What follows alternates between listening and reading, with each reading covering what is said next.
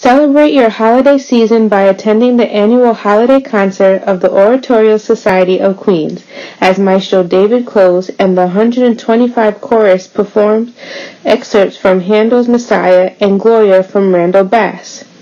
There will also be many popular Christmas and Hanukkah themed songs. Featured soloists include Jennifer Glear, Byron Singleton, Vaughn Fritz, and cantor Jerry Corbo. The concert will be on Sunday, December 17th at 4 p.m. at the Queensborough Center for the Performing Arts in Queensborough College. Tickets are available in advance for $35, $30 for students and seniors, and $10 for children 12 and under.